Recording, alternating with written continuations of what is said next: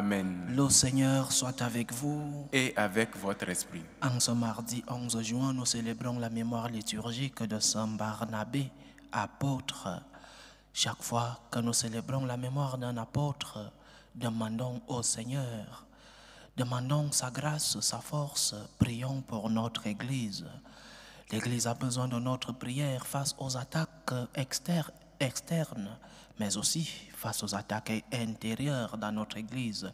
Prions pour notre Église, prions pour la hiérarchie. Notre Église est apostolique, c'est-à-dire basée sur le ciment, sur la roche des apôtres. Alors, ce que Saint Barnabé nous aide par son intercession à prier pour notre Église. Intention de messe. Karine Diximus demande au Seigneur le repos éternel de l'âme de René Lanton Baudet, décédé il y a huit ans, que son âme repose en paix sous la lumière éternelle de Dieu. Evelyne Nunes demande au Seigneur le repos éternel des âmes de ses parents Paul Nunes et Éléonore Vieira da Fonseca. Chantal Payan demande au Seigneur le repos éternel de l'âme de sa grande sœur Niki. Une fidèle rend grâce au Seigneur pour l'anniversaire de naissance de Marie-Patrick Flore, fêté le 3 juin. Que le Seigneur la comble de ses grâces et la garde toujours cachée en lui. Préparons-nous à célébrer dignement le mystère de l'Eucharistie en reconnaissant que nous sommes des pécheurs.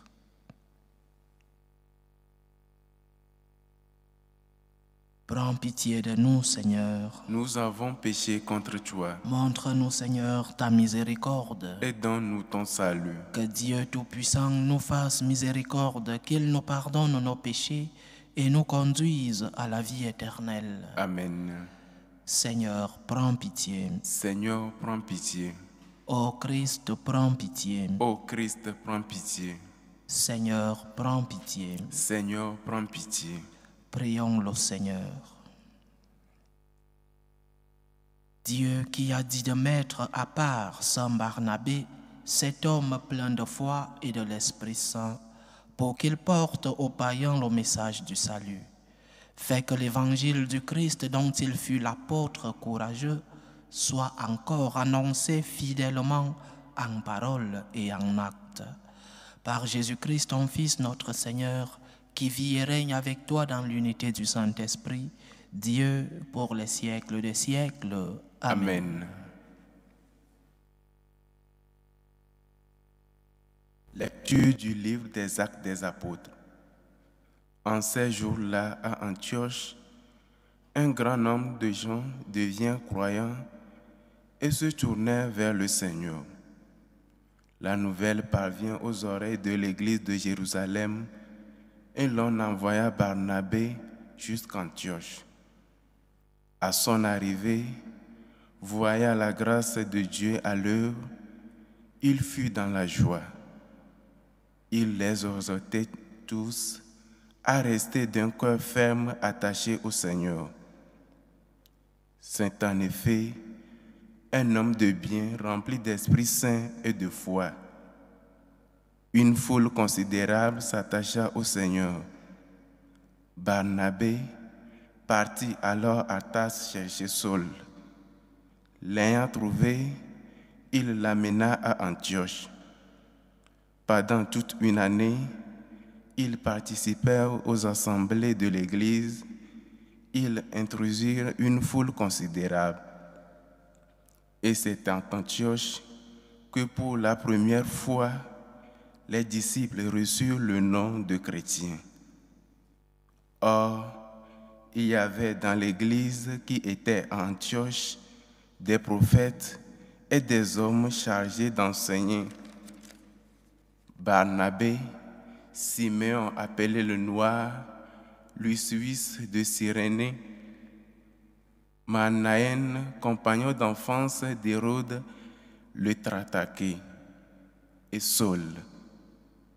Un jour qu'ils célébraient le culte du Seigneur et qu'ils jeûnaient, l'Esprit Saint leur dit, Mettez à part pour moi Barnabé et Saul en vue de l'œuvre à laquelle je les ai appelés.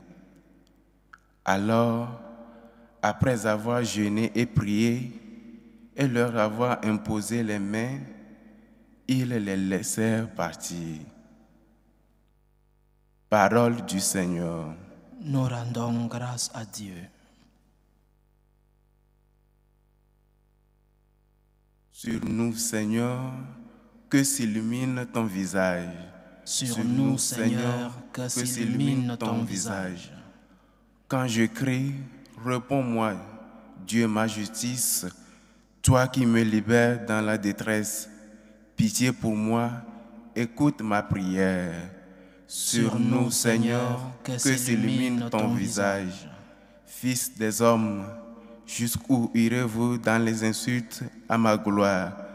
L'amour du néant et la course au mensonge sur nous, Seigneur, que s'illumine ton visage. Sachez que le Seigneur a mis à part son fidèle. Le Seigneur attend quand je crie vers lui. Mais vous, tremblez, ne péchez pas. Réfléchissez dans le secret, faites silence. Sur nous, Seigneur, que s'illumine ton visage. Beaucoup demandent qui nous fera voir le bonheur. Sur nous, Seigneur, que s'illumine ton visage. Tu mets dans mon cœur plus de joie que toutes les bendages et leurs moissons. Sur nous, Seigneur, que s'illumine ton visage. Alléluia, Alléluia. Alléluia, Alléluia. Que votre lumière brille devant les hommes. Alors, voyant ce que vous faites de bien, ils rendront gloire à votre Père. Alléluia, Alléluia.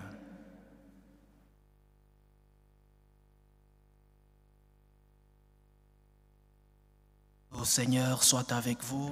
Et avec votre esprit. Évangile de Jésus-Christ selon Saint Matthieu. Gloire à toi, Seigneur. Matthieu chapitre 5, de versets 13 à 16. En ce temps-là, Jésus disait à ses disciples, Vous êtes le sel de la terre, mais si le sel devient fade, comment lui rendre de la saveur? Il ne vaut plus rien, on le jette dehors et il est piétiné par les gens. Vous êtes la lumière du monde. Une ville située sur une montagne ne peut être cachée, et l'on n'allume pas une lampe pour la mettre sous le boisseau. On la met sur le lampadaire et elle brille pour tous ceux qui sont dans la maison. De même que votre lumière brille devant les hommes, alors, voyant ce que vous faites de bien, ils rendront gloire à votre Père qui est aux cieux. Acclamons la parole de Dieu. Louange à toi, Seigneur Jésus.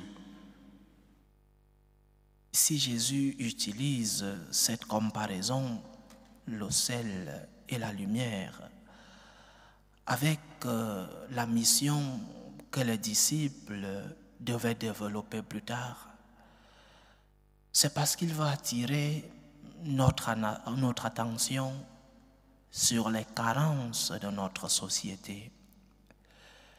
La mission de l'Église, c'est d'apporter le salut du Christ dans le cœur de tous les hommes. Et cette mission se fait à travers deux grands canaux, un canal inférieur et un canal supérieur. Le canal inférieur, même s'il est déjà oublié dans notre société, c'est ce que les philosophes appellent la loi naturelle. Les moralistes l'appellent la loi morale naturelle c'est le canal inférieur pour toute évangélisation. Le message de l'évangélisation commence justement par ce canal inférieur, la loi naturelle, la loi morale naturelle. Mais c'est quoi la loi naturelle? Ce sont les normes qui découlent du fait que nous avons été créés à image et ressemblance de Dieu et qu'il y a des choses dont tout le monde sait qu'elles sont bonnes ou mauvaise. Le bien et le mal existent. Il est bon d'obéir à ses parents, c'est naturel. Il ne faut pas qu'un grand prophète naisse pour te dire qu'obéir à ses parents, c'est une bonne chose. C'est naturel que les parents édurent leurs enfants selon leurs principes, selon leurs convictions. C'est naturel qu'un enfant respecte ses parents. C'est naturel le respect de la nature, cette nature qui laisse une empreinte sur nous. Ce n'est pas un secret, ce n'est un secret pour personne, malgré les grands débats d'aujourd'hui, malgré la perversion d'aujourd'hui. Mais une personne normale, ce n'est un secret pour personne que le mariage est l'union entre un homme et une femme. Cela a toujours été ainsi jusqu'à ce que l'idéologie du genre ne vienne ouvrir le mariage à n'importe quelle autre union, même de même sexe. Ce n'est donc pas naturel. Le mariage, c'est entre un homme et une femme, comme c'est naturel que nous soyons nés ou hommes ou femmes. C'est aussi naturel que le mariage soit l'union entre l'homme et la femme. Ça, c'est la loi morale naturelle que nous devons respecter. Cette loi que depuis notre création, le Seigneur a semé en nous. Je répète, il ne faut pas que naisse un grand prophète. Il ne faut pas que le Seigneur revienne pour nous dire qu'il faut respecter ses parents. Il ne faut pas qu'un grand prophète naisse pour nous dire que voler, ce n'est pas bon. Cela est semé, cela est dans notre loi naturelle. Ça, c'est le rappel que les disciples devaient faire lors de leur mission. Rappeler cette loi morale naturelle. Rappeler que le Seigneur a mis en nous des lois qui sont naturelles. De même que la nuit est faite pour dormir et que le jour est fait pour travailler, de même aussi il y a des lois naturelles et qui sont morales et que nous devons mettre en pratique. Donc, la première, le premier canal que nous, chrétiens, devons transmettre, c'est le canal de la défense de la loi morale naturelle. Il y a des lois qui, pour chacun d'entre nous, doivent être naturelles. Il y a des lois qui, il ne faut pas être chrétien, musulman, bouddhiste, athée pour savoir que voler n'est pas une bonne chose. Il ne faut pas être, je ne sais pas, un illuminé pour savoir que respecter ses parents, c'est naturel. Il y a la loi morale naturelle, mais il y a aussi, deuxième canal, le canal supérieur, canal qui concerne surtout nous les chrétiens, il y a aussi la loi morale révélée, c'est-à-dire ces choses que Dieu nous a transmises, Ancien et Nouveau Testament, pour que nous soyons heureux. Les commandements du Seigneur dans l'Ancien et dans le Nouveau Testament pour notre bonheur. Si l'Ancien Testament nous disait de ne pas faire le mal, le Nouveau Testament vient nous dire que nous devons faire tout le bien possible, tout le bien qui est à notre portée. Le Seigneur ne nous demande pas l'impossible. Nous les chrétiens, nous ne croyons pas en un Dieu dictateur cruel qui nous demande des choses impossibles. Dieu ne te demandera pas ce qui n'est pas sous ta possibilité. Il te demandera toujours ce que tu peux faire avec un effort, avec un sacrifice, mais il te demandera tout ce que tu peux faire comme possible. La loi morale révélée, c'est donc ces commandements transmis par le Seigneur dans l'Ancien et dans le Nouveau Testament. Ancien Testament, évite le mal. Nouveau Testament fait tout le bien possible, la loi de l'amour. Donc, être celle de la terre et lumière du monde, c'est mettre en pratique ces deux canaux de l'évangélisation, le canal du respect de la loi morale naturelle et le canal du respect et de la défense de la loi morale révélée. Nous serons pleinement heureux, nous serons pleinement libres lorsque nous mettrons en pratique ces deux grands canaux, lorsque nous saurons qu'il y a des lois qui sont naturelles en nous, lorsque nous saurons mettre en pratique les commandements du Seigneur, d'une part, évite le mal, Ancien Testament, et d'autre part, fais tout le bien possible, Nouveau Testament. Mais avant tout cela, avant la loi morale révélée, il y a la loi morale naturelle, cette semence, cette morale que le Seigneur a mis en nous lorsqu'il nous a créés. Donc, sois celle de la terre et lumière du monde. Sois celui-là qui essaye, malgré les difficultés, malgré les faiblesses, qui essaye de mettre en pratique ces lois. C'est en cela que tu seras pleinement heureux toi-même et tu rendras heureux ceux qui vivent autour de toi. Lorsque tu respectes la loi de Dieu, lorsque tu respectes la loi naturelle, tu es heureux et tu rends heureux ceux-là qui sont autour de toi. Lorsque je parle de la loi naturelle, certaines personnes se plaignent de moi que je suis très dur envers certaines personnes. Je ne parle que de ce que m'enseigne l'Église et de ce que l'Esprit, lorsque je médite, m'enseigne de pouvoir transmettre au peuple de Dieu qui m'écoute. Lorsque je parle de la loi naturelle et que je parle du mariage des personnes, hommes et femmes, je parle de ce que m'enseigne Dieu et de ce que m'enseigne l'Église. Il y a une loi naturelle. Une autre chose, c'est que certaines personnes aient des problèmes qui ne se sentent pas bien dans leur corps naturel. Il faut les aider il ne faut pas les mentir. Il faut leur dire qu'ils sont malades et qu'ils ont besoin d'aide. Ne pas dire ces choses même à ses enfants à la maison qui ont peut-être ces problèmes. Couvrir ces maladies, c'est faire du mal à ces personnes qui ont besoin d'aide. Peut-être inconsciemment, mais ces personnes ont besoin d'aide. Il y a une loi naturelle une loi que le Seigneur, lors de notre création, a mis en nous et que nous devons essayer de mettre en pratique. Et je répète, nous avons tous des faiblesses, nous avons tous des difficultés à mettre en pratique les lois de notre Seigneur.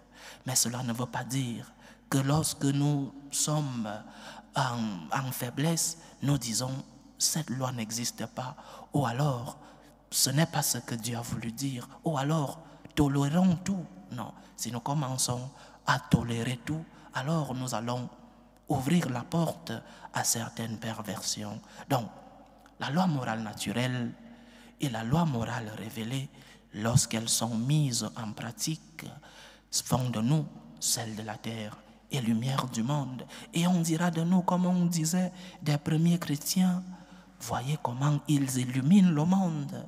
Voyez comment ils donnent du goût à la terre. Voyez comment ils sont heureux.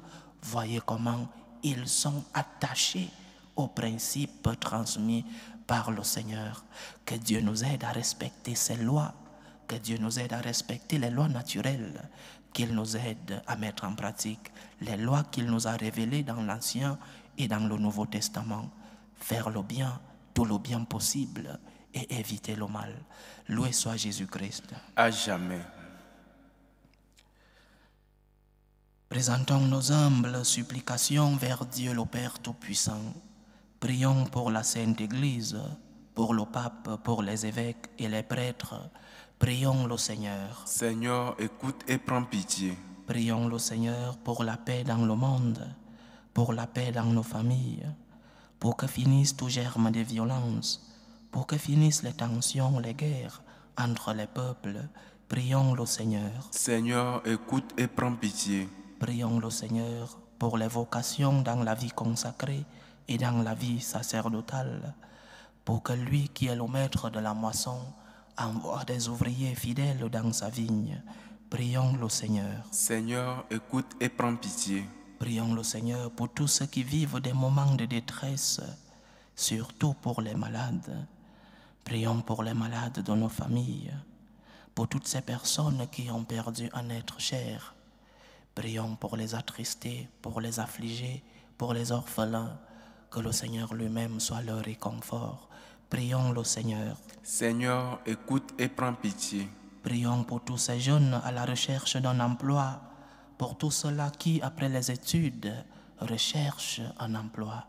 Que le Seigneur lui-même guide leurs pas, qu'ils puissent trou- trouver l'emploi que le Seigneur réserve pour eux. Prions le Seigneur. Seigneur, écoute et prends pitié. Pour nous tous ici rassemblés, pour tous ceux qui nous suivent à travers ce canal, pour toutes nos intentions de prière, que le Seigneur nous aide à respecter ces lois, ces lois qui sont naturelles et ces lois qu'il nous a révélées. Prions le Seigneur. Seigneur, écoute et prends pitié. Reçois, Seigneur, les supplications que ton peuple te présente avec foi. Daigne les exaucer selon ta volonté. Toi qui vis et règnes pour les siècles des siècles. Amen.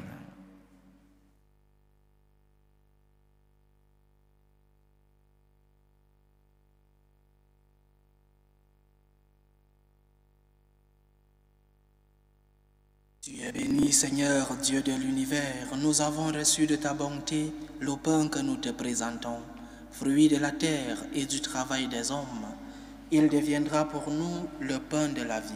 Béni soit Dieu maintenant et toujours. Tu es béni, Seigneur, Dieu de l'univers. Nous avons reçu de ta bonté le vin que nous te présentons, fruit de la vigne et du travail des hommes. Il deviendra pour nous le vin du royaume éternel. Béni soit Dieu maintenant et toujours.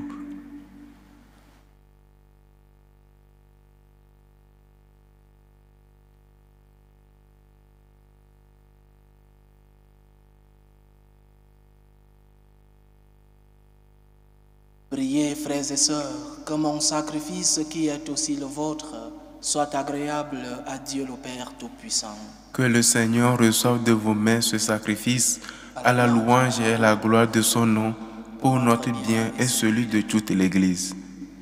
Par ta bénédiction, nous t'en prions, Seigneur. Sanctifie les dons que nous t'offrons, qu'ils allument en nous par ta grâce le feu de cet amour qui poussait le bienheureux Barnabé à porter aux nations la lumière de l'Évangile. Par Jésus-Christ, ton Fils, notre Seigneur, qui vit et règne avec toi dans l'unité du Saint-Esprit, Dieu pour les siècles des siècles. Amen. Le Seigneur soit avec vous. Et avec votre esprit, Élevons notre cœur. nous le tournons vers le Seigneur. Rendons grâce au Seigneur notre Dieu. Cela est juste et bon. Vraiment, il est juste et bon pour ta gloire et notre salut de t'offrir notre action de grâce toujours et en tout lieu. Seigneur, Père très saint, Dieu éternel et tout-puissant, par le Christ notre Seigneur. Car tu as fondé ton Église sur les apôtres pour qu'elle soit à jamais dans le monde le signe de ta sainteté et qu'elle enseigne à tous les hommes l'évangile du royaume des cieux. C'est pourquoi dès maintenant et pour l'éternité, nous pouvons te chanter avec tous les anges et d'un cœur fervent proclamer Saint, Saint, Saint, le Seigneur Dieu de l'univers. Le ciel et la terre sont remplis de ta gloire. Hosanna au plus haut des cieux. Béni soit celui qui vient au nom du Seigneur. Hosanna au plus haut des cieux. Toi qui es vraiment saint, toi qui es la source de toute sainteté, Seigneur, nous te prions. Sanctifie ces offrandes en répandant sur elles ton esprit, qu'elles deviennent pour nous le corps et le sang de Jésus le Christ, notre Seigneur. Au moment d'être livré et d'entrer librement dans sa passion, il prit le pain. Il rendit grâce, il le rompit et le donna à ses disciples en disant, Prenez et mangez-en tous, ceci est mon corps, livré pour vous.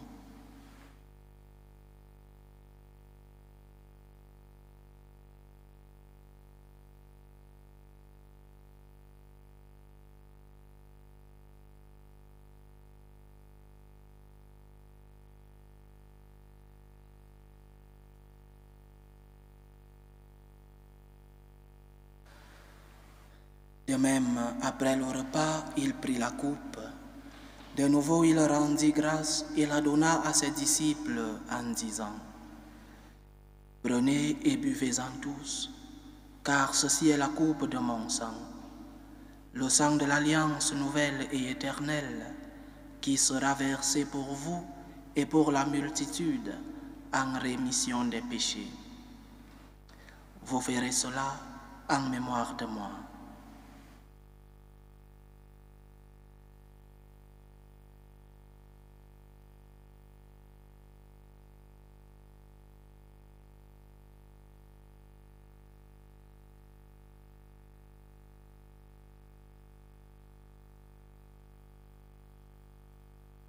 Il est grand le mystère de la foi. Nous annonçons ta mort, Seigneur Jésus. Nous proclamons ta résurrection. Nous attendons ta venue dans la gloire. En faisant ainsi mémoire de la mort et de la résurrection de ton Fils, nous t'offrons, Seigneur, le pain de la vie et la coupe du salut. Et nous te rendons grâce, car tu nous as estimés dignes de nous tenir devant toi pour te servir. Humblement, nous te demandons qu'en ayant part au corps et au sang du Christ, nous soyons rassemblés par l'Esprit Saint en un seul corps. Souviens-toi, Seigneur, de ton Église répandue à travers le monde. Fais-la grandir dans ta charité, en union avec le pape François, notre évêque José et tous ceux qui ont la charge de ton peuple. Souviens-toi aussi de nos frères et sœurs qui se sont endormis dans l'espérance de la résurrection. Souviens-toi de René Lanton Podé, Paul Nunes, Éléonore Vieira da Fonseca et de ta fille Niki. Et souviens-toi dans ta miséricorde de tous les défunts.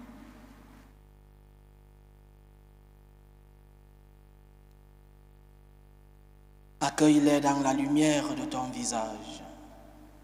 Sur nous tous, enfin, nous implorons ta bonté. Permets qu'avec la Vierge Marie, la bienheureuse Mère de Dieu, avec Saint Joseph, son époux, les apôtres et tous les saints qui ont fait ta joie au long des âges, nous ayons part à la vie éternelle et que nous chantions ta louange et ta gloire par ton Fils Jésus le Christ.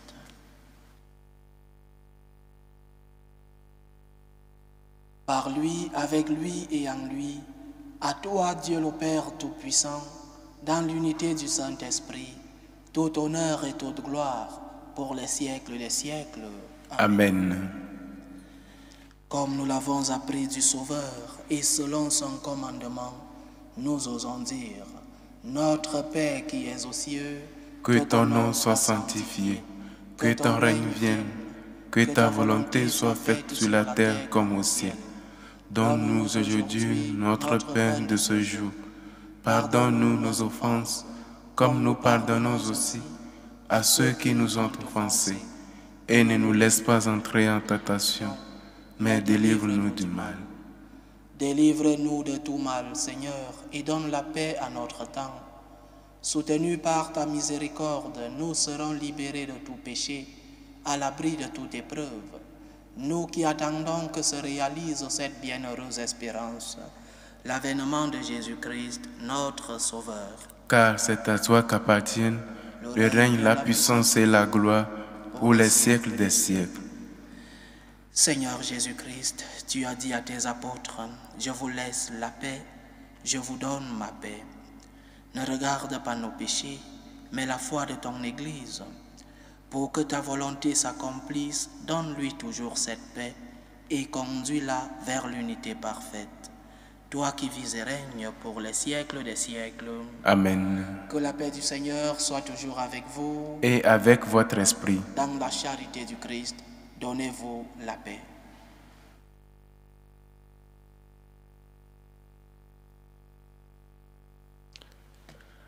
Agneau de Dieu qui enlève les péchés du monde, prends pitié de nous. Agneau de Dieu qui enlève les péchés du monde, prends pitié de nous. Agneau de Dieu qui enlève les péchés du monde, donne-nous la paix.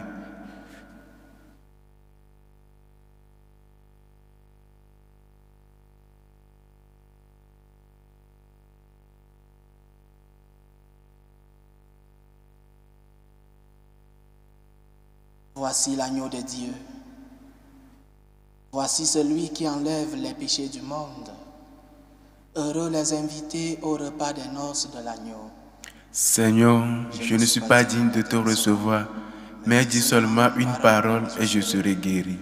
Que le corps et le sang du Christ nous gardent pour la vie éternelle. Amen.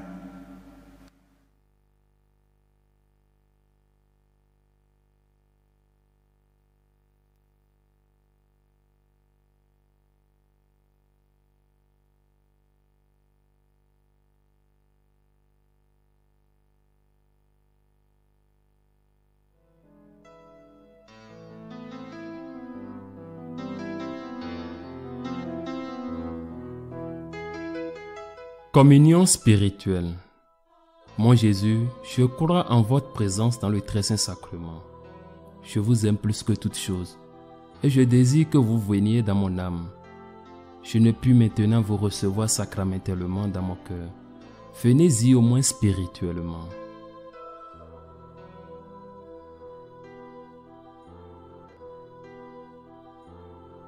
Je vous embrasse comme si vous étiez déjà venu et je m'unis à vous tout entier. Ne permettez pas que j'aie jamais le malheur de me séparer de vous. Amen.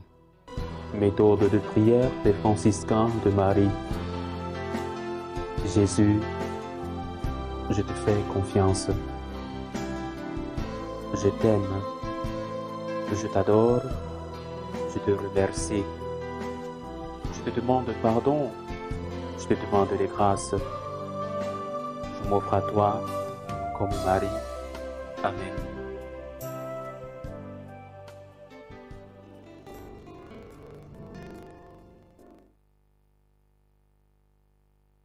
Achevons notre prière. Après avoir reçu de toi, Seigneur, le gage de la vie éternelle, nous te supplions humblement, fais que nous saisissions un jour en plénitude le mystère que nous célébrons dans ces rites en mémoire de l'apôtre Saint Barnabé, par Jésus-Christ, ton Fils, notre Seigneur, qui vit et règne avec toi dans l'unité du Saint-Esprit, Dieu, pour les siècles des siècles. Amen. Le Seigneur soit avec vous. Et avec votre esprit. Que Dieu Tout-Puissant vous bénisse, le Père, le Fils et le Saint-Esprit. Amen.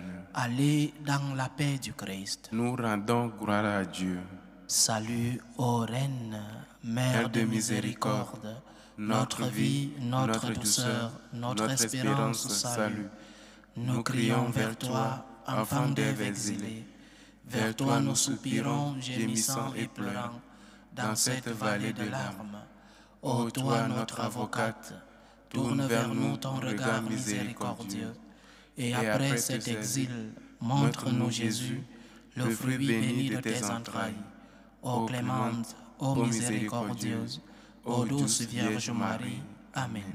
Priez pour nous, Sainte Mère de Dieu. Afin que nous soyons rendus dignes des promesses de Jésus-Christ. Saint Barnabé apôtre, Priez pour nous.